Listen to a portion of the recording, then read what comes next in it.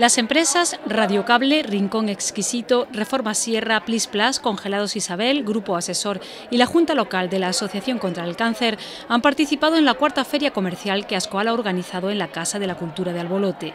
La cita tuvo lugar este fin de semana, con un horario de mañana y tarde y un espacio adaptado no solo a los consumidores, sino también a las familias con actividades lúdicas. A las 5 de la tarde del viernes 29 abrió sus puertas esta feria con diferentes espacios donde los participantes pudieron presentar sus productos. El alcalde de Salustián Ureña visitó la feria junto con varios concejales. En la jornada del viernes se desarrolló un taller de encaje de bolillos donde participaron activamente muchas mujeres de la localidad.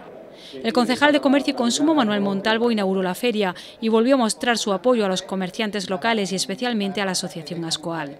Y nosotros estamos abiertos a cualquier sugerencia o petición que ellos nos hagan. Lo importante es el apoyo al pequeño comercio, tanto en la presencia de ferias como colaborando en las distintas jornadas de formación que ya se han hecho y estamos abiertos a cualquier proyecto a lo largo de los próximos años.